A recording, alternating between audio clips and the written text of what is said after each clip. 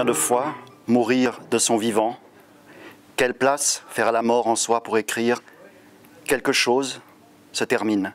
Voilà ce qu'il m'est possible de dire sans trahir ma médiation devant la ville, ni le sentiment diffus d'une autre réalité tout aussi présente à cet instant que je ne peux qualifier qu'en termes d'oubli et d'enfouissement. Quelque chose se termine. Cette chose, je veux essayer de la raconter, sachant que Shanghai n'aura de cesse de me harceler, parce qu'elle est belle et capricieuse, et que la réalité chinoise voudra me faire taire en me faisant écrire un texte qui la concernera, elle, exclusivement elle, et ses étés morcelés par la chaleur, brouillés de gyrophares, et ses crissements de pneus, et son odeur de gomme cramée, et sa foule corvéable, un ensemble qui bouge et qui transpire devant les cinémas, un ensemble à peine vêtu à la terrasse des cafés, dans les vitrines, prêt à être consommé, corps et marchandises, elle, la Chine, dans l'œil des hommes, dans le miroir des femmes, elle et son soleil aveugle, et son peuple aveugle, et ses lois aveugles, 24 heures sur 24, 365 jours par an, dans la brûlure des lampes, des chutes, des coups, des insultes. Shanghai, en petite robe courte, aux longues jambes nues, aux mains gantées, fumant une cigarette à l'angle de la rue, elle, la ville, ses accidentés, à genoux, assis, hébétés, dans le caniveau, la bouche ouverte, le souffle coupé, la gorge tranchée, prostituée, allongée, avachie, offerte, écartelée, pudique, modeste, soumise, digne et morte au bout du compte, engloutie dans le noir étincelant de son trop-plein de vanité. Elle voudrait que je ne voie qu'elle.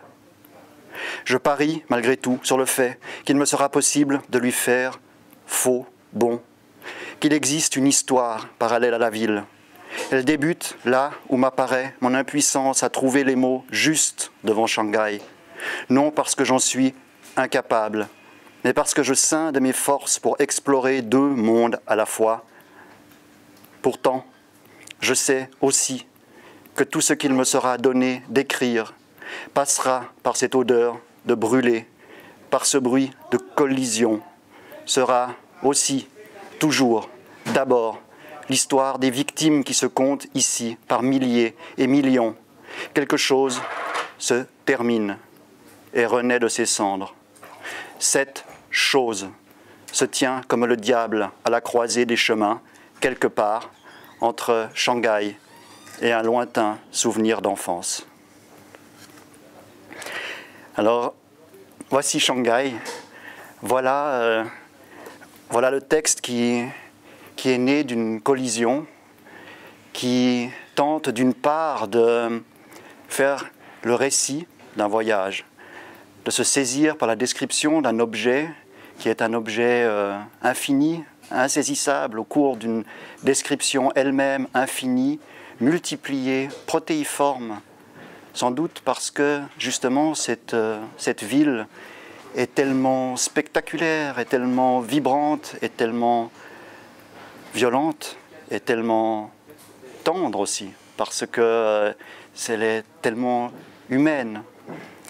Et parallèlement à cette tentative inépuisable de la saisie par la description, se faufile euh, au cours de ce texte un second niveau narratif, une sorte de fiction qui vient innerver la description plus clinique et qui vient révéler une narration seconde qui ne serait plus le récit d'un voyage, mais peut-être quelque chose qui se rapprocherait davantage du roman d'un voyage, où dans le fond, euh, celui qui se trouve au centre n'est plus la voix narrative de celui qui se débat dans cet univers, dans cette mégapole folle, mais devient le voyage lui-même.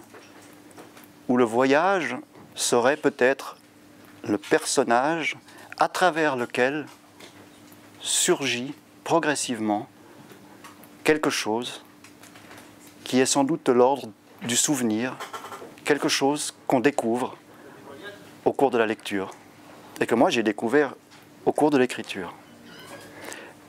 Parce que cette ville, cette ville était folle. Enfin, euh, je ne vais pas m'apesantir. Le sous-titre du, livre est Shanghai au corps à corps. Quels sont ces deux corps qui se heurtent? D'une part, ce sont les immeubles, les carcasses gigantesques de, cette mégapole, le béton, la, lourdeur, les millions d'individus. De l'autre, euh, en face de cette, masse, il y a un corps qui se confond ici, le corps narratif et mon corps propre, euh, qui est un corps euh, assez difficile, un corps très fragile, un corps qui m'a retenu durant toute mon enfance, mon adolescence, une partie de mon âge adulte, dans un lit, dans une chambre, et j'ai passé toutes ces années à, à rêver du monde, à imaginer le monde. Et soudain, presque du jour au lendemain, mon état de santé s'est amélioré. Il y a une éclaircie qui dure encore, pourvu que ça dure. Et, euh, cette éclaircie a, correspondu avec euh, l'invitation qui m'a été faite par l'Association des écrivains de Shanghai, euh, qui invite chaque année une dizaine d'écrivains en résidence. Et alors, sans réfléchir, évidemment, poussé par l'appel de l'extérieur, poussé par la porosité des murs de ma chambre, j'ai dit Banco, allons-y, on y va. Et, là, euh, je me suis transpoté du cocon blindé, blindé de livres, blindé de protection dans Shanghai, dans cette mégapole, et euh, j'ai été d'abord évidemment ébloui par ce, par ce contraste. Première chose que j'ai remarqué en arrivant, ce sont euh, lorsque vous vous promenez à Paris en fauteuil roulant, vous vous promenez et vous avez le regard à un mètre du sol. C'est à peu près la hauteur des enfants et des mendiants. Donc, euh, lorsqu'on se promène à, Paris en fauteuil, c'est ce qu'on voit à longueur de journée des enfants, euh, quelques animaux et des mendiants. Lorsque vous arrivez à Paris, euh, non, excusez-moi, en Chine, ce que vous voyez à l'aéroport, derrière l'aéroport, c'est tout le monde.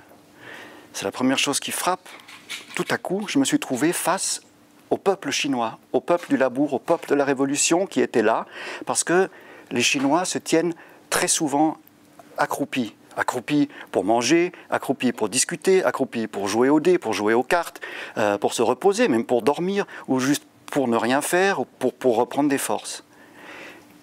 Et alors, à longueur de journée, j'étais euh, fasciné par cette rencontre de millions d'individus. Et la première envie que j'ai eue, c'était de me fondre dans cette foule.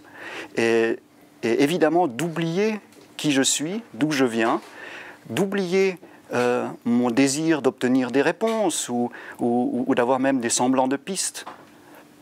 D'une seconde à l'autre, je me suis senti euh, comme une sardine euh, dans son banc de sardines et, j'avais envie d'être en porté par le courant. Et c'est ce qui se passe, parce que, parce que, parce que les Chinois que j'ai vus étaient sans doute comme moi, venant des quatre coins de la Chine, abasourdis devant ce monstre de, Shanghai, abasourdis, les yeux ronds comme des billes, eux avec le désavantage de devoir lutter chaque jour pour le jour suivant. Et, et moi, euh, euh, avec l'avantage de savoir que j'avais un billet de retour dans ma poche, mais par contre, euh, physiquement très empêché.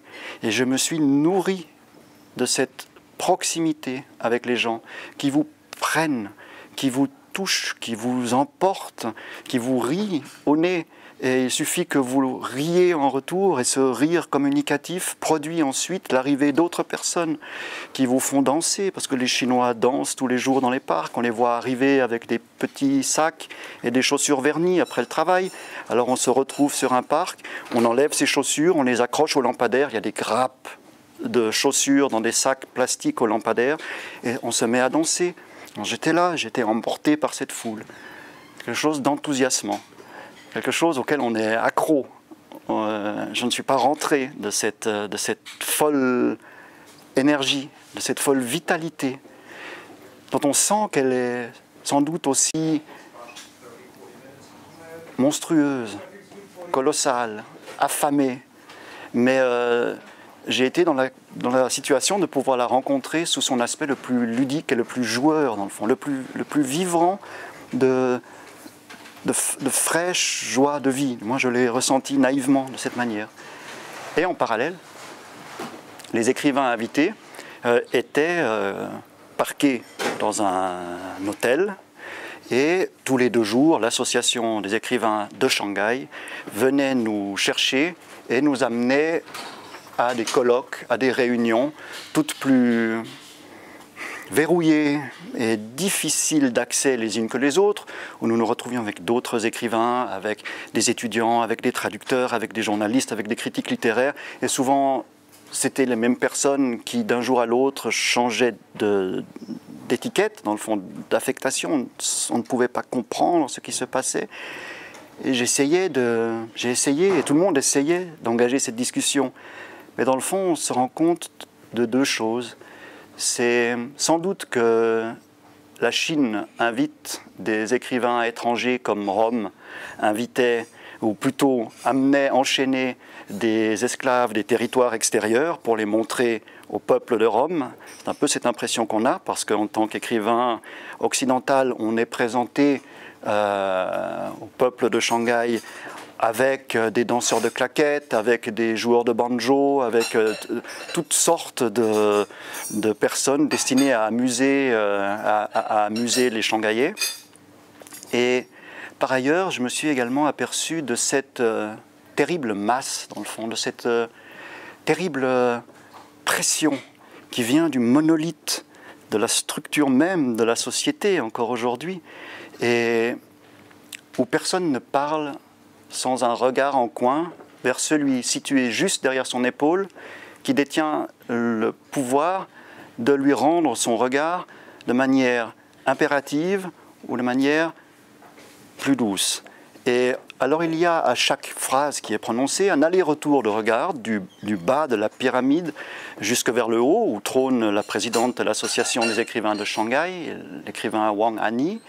Et, cette valse, hésitation de regard, euh, est, assez fascinante, mais elle verrouille absolument le langage. Et on voit de, jeunes écrivains qui voudraient parler et qui se cramponnent à leurs feuilles et qui tremblent et, on a mal au ventre parce qu'on aimerait leur dire écoute euh, mon vieux tout se passe bien tout va bien on, peut parler on, est là en train de faire essayer de faire quelque chose ensemble et rien ne se produit sinon cette, cette crampe sinon cette valse hésitation des regards en fin de journée on est évidemment essoré on se retrouve dans la rue et là recommence le, cortège des sardines et l'euphorie de, la vie qui bouillonne autour de, de ce monolithe de la maison des écrivains de Shanghai.